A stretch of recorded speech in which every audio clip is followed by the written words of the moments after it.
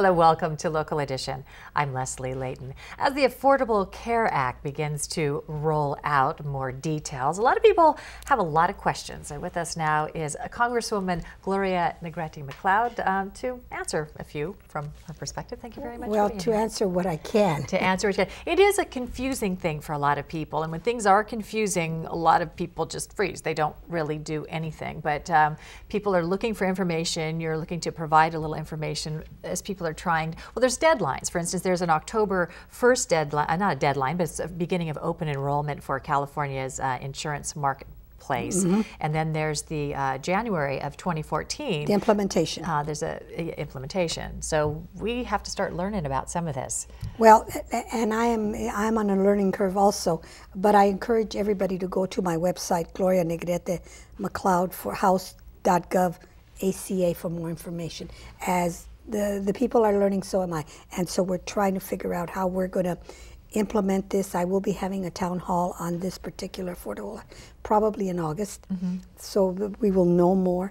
We've kind of been briefed from the health department. We've, we've come in, and of course, California is like many other states who have, on their own, initiated the, the marketplace on their own, which is kind of the, uh, the, the, exchanges. The exchange. The okay. exchanges, that's the word I wanted. Uh, California did that, and some other states have, but there are some states who have, have just held off on doing anything and what's going to happen to them. Those states, the federal government is going to come in and set it up. Okay. Now, it seems to me that uh, the first step for people to take. It depends on who you are. If you're uninsured and you can afford insurance, if you're uninsured and you can afford insurance, if you're self-insured, if you get your insurance through an employer, if you're an employer and you have fewer than 50 employees or more than 50, it's, it's a different situation for everybody. So if you're if you currently have insurance through your through your employer and it's something that you can afford, mm -hmm. there's going to be no change for you. You're you're kind of out there on your own. That's nobody's going to touch you. You're you're going to keep going. Mm -hmm. Life is going to be the same. Mm -hmm.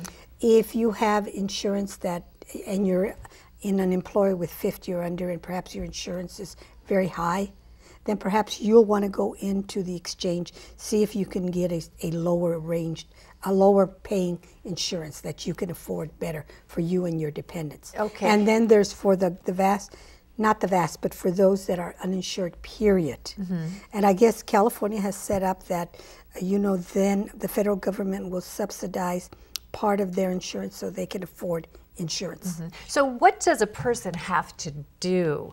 Um, you hear that you're going to be fined if you don't have insurance. What do they need to do? What move do they need to make?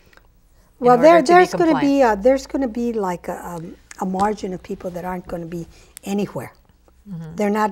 They're going to be too too high to qualify for the subsidies. They're going to be. Uh, so I don't know what they're what's going to happen to them. But I this is a learning curve for me too. So I'm along with everybody else. I'm going to keep learning and then we will provide all the information for the constituents. Mm -hmm.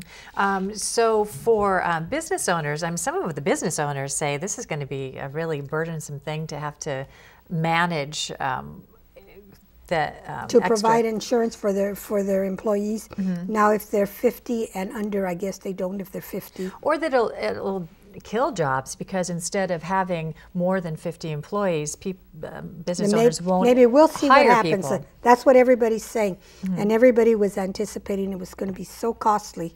But now all of the insurance companies have put out their, their cost, what it's going to cost them, and it's way lower than when anybody anticipated. Well, so it's maybe the small businesses won't be hurt. I guess like someone said, when we read through it, we'll find out what it says. That's right. Okay, thank you very much, Gloria Negrete McLeod, and thank you for joining us. I'm Leslie Leyton.